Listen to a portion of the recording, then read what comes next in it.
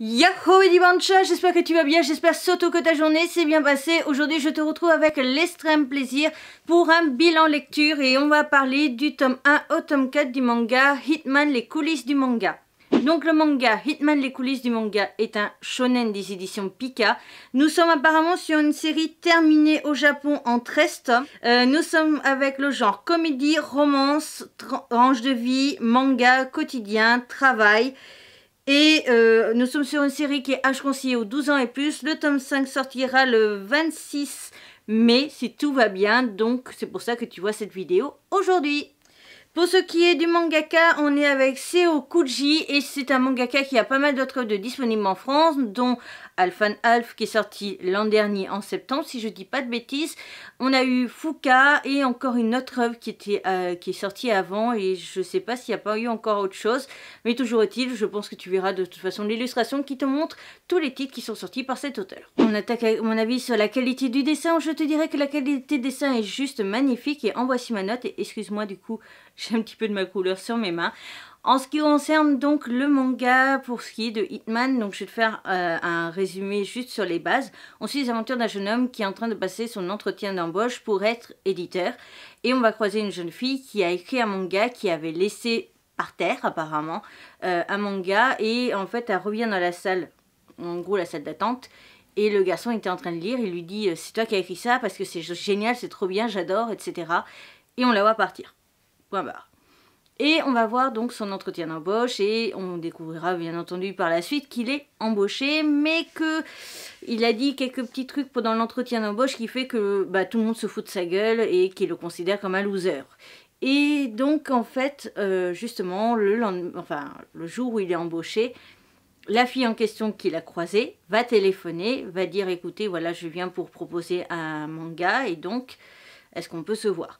Et comme c'est la personne qui répond au téléphone qui est en charge de la personne après, donc ça va être lui qui va s'occuper de cette jeune fille. Lui, il y croit à fond dans son histoire, il y croit à fond dans son travail et donc va euh, se rebeller un petit peu contre tous ses collègues pour la faire euh, publier et parce que lui il croit en elle, il croit qu'elle peut faire des choses et donc on va suivre les aventures de ce jeune homme qui donc euh, décide d'être en gros le meilleur dans les éditeurs, donc ceux qui donnent les conseils au mangaka et il veut faire de cette jeune fille la numéro 1 du manga. En tout cas, je sais plus si c'est juste au Japon, enfin si c'est juste, non, si c'est au Japon ou si c'est juste pour son magazine, mais en tout cas, il veut faire d'elle quelqu'un de très connu et voilà, il croit vraiment en ses capacités et c'est ça qu'on va suivre.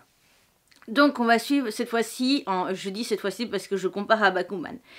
Euh, dans Bakuman, on suivait les aventures surtout des deux garçons qui sont mangaka et on suivait leurs aventures en tant que mangaka, en tant qu'apprenti et à vouloir être mangaka. Cette fois-ci, on est dans euh, de l'autre côté du euh, pas du miroir, mais presque. Enfin, on, on est de l'autre côté de l'aventure. Et cette fois-ci, on suit les éditeurs principalement.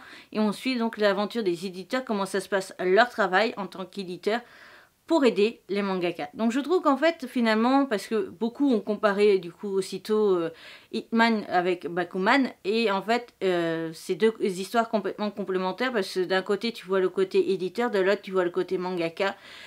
Pour l'instant, certes, ça se ressemble quand même parce que tu apprends beaucoup de choses, tu as beaucoup de conseils, tu as beaucoup d'informations dessus, tu as beaucoup de statistiques, etc., d'informations. Donc, euh, sur le côté vente, sur le côté euh, justement euh, mise en avant, est-ce que ça va marcher, est-ce que ça va marcher? Et euh, justement on a vraiment le côté éditeur et ça c'est vraiment très intéressant parce que ça permet un peu plus de connaître l'autre côté en fait la, deuxième partie l'équipe en fait hein, parce que les mangas se font à deux avec un éditeur et le mangaka et donc c'est ça qui est vraiment très intéressant. Le fait que ça soit en 13 tomes, dans un sens, me rassure parce que... Euh, alors, euh, dans un sens, ça me rassure si la série n'est qu'en 13 tomes parce que j'avais peur que ça soit une série vraiment très à rallonge. Euh, je crois que Bakuman est quand même à 20 et quelques tomes, voire 30, un truc comme ça.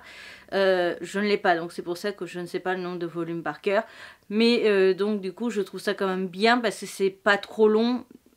Dans un sens, j'avais peur que, à force de l'ennui, et ce qui est plutôt sympa, donc, c'est que la série est ni trop longue ni trop courte parce que je pense à Mangaka Editor in Lore que je vais te présenter du coup dans le mois de juin, qui est un manga qui parle des mangaka, mais qui est en 5 tomes. Et pareil, il y a le manga Kimok des éditions Doki Doki, qui est en 6 tomes.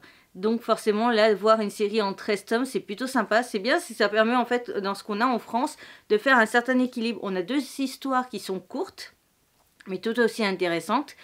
Et on a donc une série mi-longue et une série très longue. Donc je trouve ça vraiment génial au niveau de l'ensemble. Et puis ce qui est bien, c'est que toutes les séries se complètent et ça c'est vraiment très intéressant. J'ai vraiment adoré, j'ai eu un giga coup de cœur.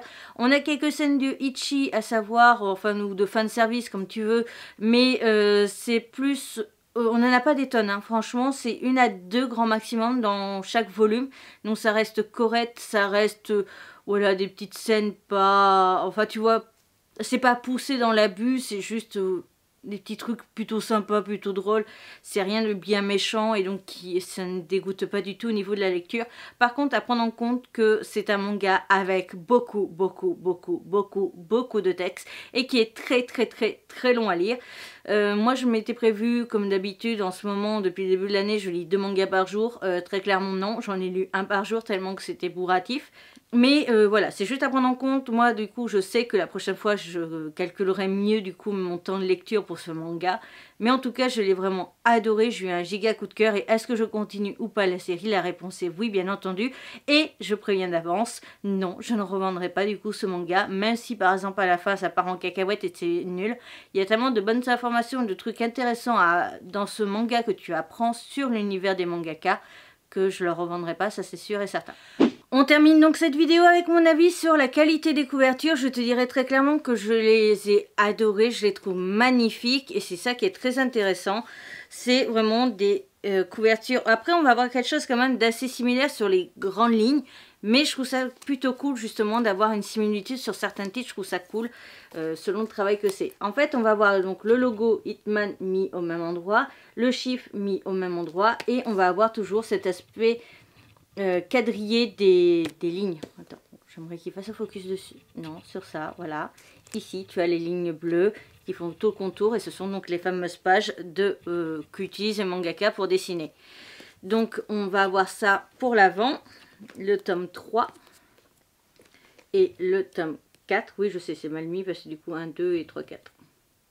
Pour ce qui est de l'arrière, on va avoir quelque chose d'assez similaire. Je vais te le montrer de loin parce que sinon, les images à chaque fois peuvent spoiler euh, le contenu, mais tu vois, c'est le même genre, pareil. On a respecté la couleur qui était à l'avant, le violet, qui est remis à l'arrière pour faire le résumé. On le met aussi pour faire certains tons. Tu vois, ici, c'était rouge, là, c'était bleu et orange. Voilà, donc ça, je trouve ça plutôt cool. Ensuite, qu'on enlève les jaquettes. J'aimerais te le faire dans l'ordre. J'ai tout mélangé. Quand on enlève les jaquettes, on se retrouve à chaque fois avec une petite BD. C'est marqué le petit théâtre de Hitman, nouvelle, enfin voilà. Et à l'arrière, on a le logo. Pareil, le logo, la petite BD. Donc je te montre pas pour les autres parce qu'on verra rien de toute façon. C'est en bleu clair. Mais voilà, et euh, pour le côté là, je sais pas si tu avais on voyait, mais on a encore la ligne des mangas. Voilà. Donc on ouvre, on a une très belle illustration pour ce qui est des pages entre chaque chapitre, on n'en a pas réellement. À chaque fois, on a des illustrations qui font certes toute la page, mais qui continuent le manga. Donc, je ne peux pas trop te les montrer. Il y en avait une ou deux pour le volume 3, je crois, mais c'est rare. Et euh, en ce qui concerne qu'on ouvre, par exemple, le tome 2, on a directement donc la même illustration à chaque fois que, tu vois, la jaquette. Et après, on a directement le sommaire et on n'a pas du tout de récap des personnages, ce qui est un petit peu dommage, comme ça serait bien ça aurait été bien de faire un récap au moins pour se rappeler un petit peu euh, des, noms, etc. Mais en même temps, on a souvent le, un cadre qui nous dit en fait euh, justement l'auteur, enfin qui nous dit les personnages ce qu'ils sont. J'aimerais retrouver... Tu vois, à chaque fois qu'on rencontre déjà un nouveau personnage, on a un cadre comme ça qui nous explique qui il est, ses facultés, etc. Donc ça, c'est plutôt sympa. Donc voilà, en ce qui concerne mon avis sur les couvertures et les pages à l'intérieur, donc je suis en même temps très conquis par l'extérieur, mais très déçu du coup par l'intérieur. Déjà, quand on lève la jaquette, je trouve ça un petit peu dommage, il n'y a pas d'illustration bonus, c'est une petite BD, mais moi, j'aime pas ça. Ensuite, on n'a pas de page entre chaque chapitre. Ensuite, on a le sommaire qui est toujours pareil, donc ça, c'est pas grave. Mais quand on ouvre le manga, on a la même illustration que sur la jaquette, donc c'est du recyclé, donc c'est dommage. Et euh, aussi, donc, on n'a pas de récap des personnages, ni de résumé de ce qui s'est passé, ce qui est un petit peu dommage parce qu'il se passe quand même pas mal de choses à chaque fois dans chaque volume. Et euh, qu'on lit au compte-goutte, bah, ça peut être pas mal d'avoir une piqûre de rappel de qu'est-ce qui s'est passé dans les volumes précédents cette vidéo sur le manga Hitman, les coulisses du manga est donc à présent terminée. J'espère de tout mon cœur que cette vidéo t'aura plu. Si c'est le cas, n'hésite surtout pas à me le faire savoir. On like, on commente ou on partage. N'hésite pas à me dire si tu avais déjà commencé à lire cette série et quel est toi ton mangaka préféré et ton éditeur préféré dans la série. Je te mets les deux précédentes vidéos des éditions Pika ici, ma tête de panda pour t'abonner, mes réseaux sociaux et le compte Vinted comme d'hab. Et comme d'habitude, dans la barre d'infos, tu as le résumé, des codes promo pour pas mal de sites et les liens vers mes autres réseaux sociaux. Sur ce, à bientôt